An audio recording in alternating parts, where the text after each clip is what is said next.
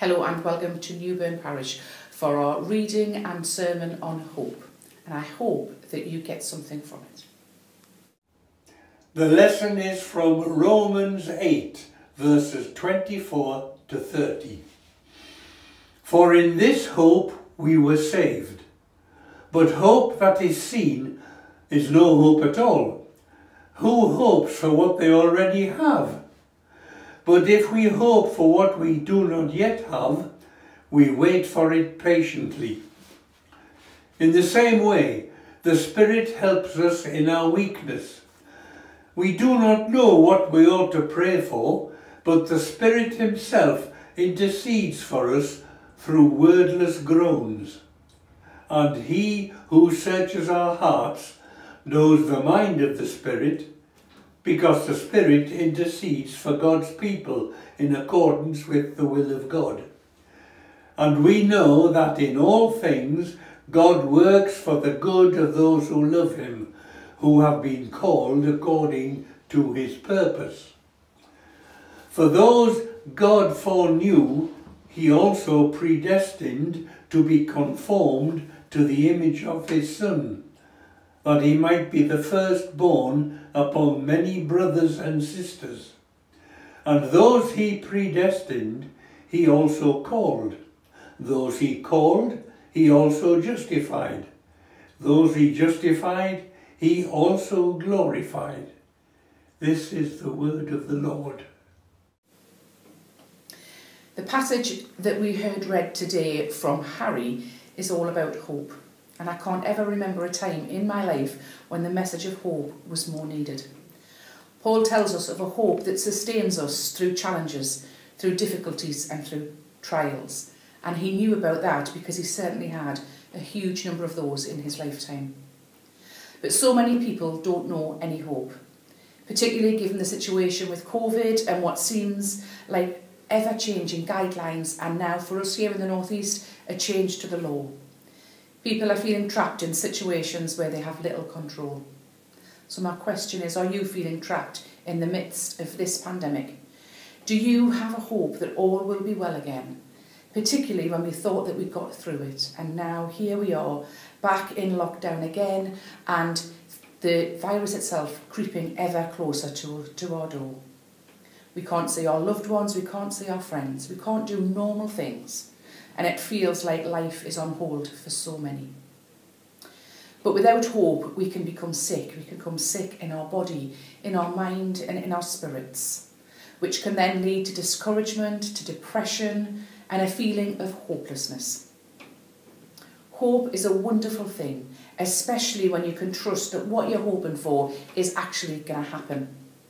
As Christians, we have a hope in Christ that one day He will return He'll return to make everything new and he'll wipe away every tear from our eyes. But sometimes we put our hope in things that are very unlikely to happen. Some people put their hope in winning the lottery and they'll say to me, Oh, when I win the lottery, dot, dot, dot. But there aren't many lottery winners, are there? Well, I don't know of any. So, where should we turn for our real hope? Is there a true and genuine hope for our future, especially at this time? Well, God tell, God's word tells us, yes, there is. And the passage from Romans that we heard read talks about the extraordinary hope that Paul, in the midst of huge difficulties, had. He had that extraordinary hope. But how do we find hope? Where do we look for it? How do we fill our hearts and our minds with the hope of Christ? We might know in our heads that Christ is the source of our hope, but how do we get it into our hearts? How do we believe it? Especially at times like this. Hope is an active word, it's a doing word, it isn't passive. Hope doesn't just come knocking at our door. Hope needs to be welcomed, it needs to be practiced. You might be sitting there thinking, what does she mean by practicing hope? That sounds really odd.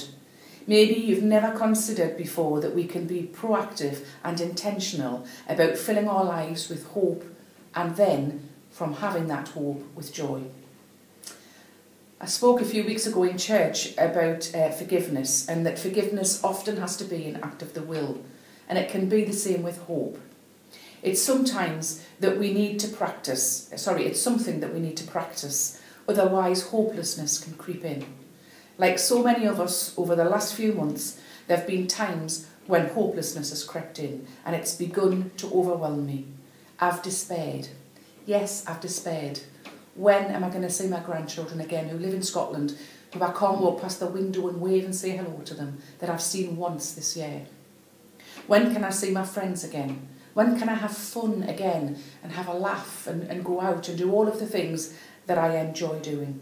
I don't know. And there are times when I can begin to feel despairing and I can lose hope that we'll ever all be together again. I don't like it um, that we can't sing together in church. Singing feeds my spirit. I do sing at home, but it's not the same as congregational singing and singing with people in church. So, if like me, you have times when you're drifting towards hopelessness, there's one thing that I urge you to do, and then there are a few things that I think can be helpful for all of us. The thing that I urge you to do is to not be alone. So many of us do just lock ourselves away, and it's so much easier to cut ourselves off now in lockdown. If we feel we have no hope, we have to tell someone. Don't suffer alone. Tell someone how you're feeling. And there are times when I've heard people accuse their church or their vicar of not caring. But if we don't know, we can't help you. Tell others and let them care for you and help you. So let others in. We were made for relationships. We need others around us, especially other Christians. Allow others to encourage you, and let's be a community of encouragers. At the moment, we need each other and God more than ever. So that's what I urge you not to do. And here are some of the things that you can do to actively seek hope. Firstly, do something that feeds your spirit. What I mean by that is, what is the things that brings you closer to God? Maybe it's a walk in nature, a walk by the sea, I don't know. But don't be alone. Go out. I know Malcolm, um, who's a member of our church, was having to fully shield through the whole of lockdown. And he was desperate and he longed to go out for a walk. Because walking feeds his spirit like singing feeds mine. Think about what it is that feeds your spirit, then try and do it. During the lockdown, I've told many of you that I started taking photographs of the garden birds. They're so beautiful. And it meant that I had to sit still, I had to concentrate so I could get a good picture. It took my mind off not seeing my family as I was concentrating on, you know, sometimes not breathing so that the birds wouldn't fly away. I loved it and I loved the photos that I took and I've got them. Um, but it, and it really did make a difference and it made me feel better. I'm not saying that it lasted forever. I'm not saying that, that you know I just felt great after that all the time. But it really did make a difference. Nature can be therapeutic. Go for a walk and thank God for His beautiful creation. We're blessed to live in this area, so close to the river, so close to lots of trees where you'll hear the birds. Dan, who's a member of our congregation from St Michael's, lives in a flat. He loves going out for walks, but he also enjoys watching the foxes and the badgers from his window, and I know that brings him lots of pleasure. Secondly, the thing that we can do is that we should pray often. And the Bible says in 1 Thessalonians 5, rejoice always. Pray without ceasing. Give thanks in all circumstances, for this is the will of God in Christ Jesus for you. Impossible, you might think. Life's too busy. We've got so many calls on our time in the world that we live in today. Who could possibly expect us to keep their minds on Christ at all times? Surely God wouldn't expect that of us. He knows that we're busy, except that it doesn't say anywhere in the Bible, pray without ceasing unless you're busy. It really is possible to pray without ceasing, and it's possible without making huge changes to your daily life. It's all about shifting your thoughts and turning everyday moments into prayers. It's a bit like having the radio on in the background. Keep it tuned in, keep talking to God as you go throughout the day. Another thing is something that my spiritual director told me to do, and that is that throughout the day you can say over and over a phrase like, Come Lord Jesus, or a line from your favourite hymn or worship song, or thank God for loving you. It can be anything. Just say it over again as a prayer. When I feel self critical or a bit down, I'll say, I'm your child.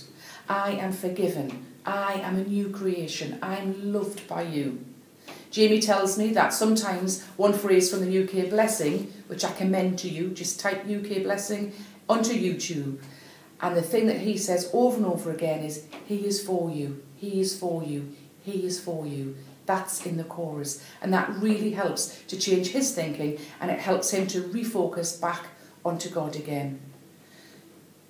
If you despair, remember God loves you. We need to remember who we are in Christ and how much He loves us. He delights in you. You are His child. You are chosen. You are loved. You are forgiven. You have the hope of eternity. Even in the despairing, all those things are true.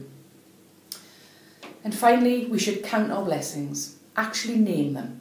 We should write them down to help us to remember the things that we have to be thankful for, rather than the, the things uh, that we long to have. I'm thankful that I can uh, go on WhatsApp and I can see my grandchildren and I can chat to them and I'm thankful for that. And in the times when I think, when am I going to see them again? I'm thankful that for today we have the technology that allows us to do that. But these things that we have uh, can give thanks for link back to praise and to rejoicing. Do you know that when we worship and praise God, it silences Satan? So thank God for something He's done for you. Turn the praise music up, have a dance. Sadly, we can't do it together, but oh my goodness, what a party we're going to have when we can. Count your blessings, remember the good things, write them down in the times of despairing. Go back and look at them and remember the things that you've got to thank God for. So I asked at the beginning, is there a true and genuine hope for our future, especially at this time? As I said at the beginning, God's word says yes. The Bible gives us so many verses that will give us hope, words of encouragement from God. Have a look at some of the Bible verses here on the screen. Maybe write them down. And if you feel hopelessness coming along, um, just look over them, read them, and take them as personal words from God just for you. You are His child. You are chosen. You are loved. He adores you and He wants to be in relationship with you. Please don't despair alone. Ask for help and remember all of the good things that God has for you in the future and today. Amen.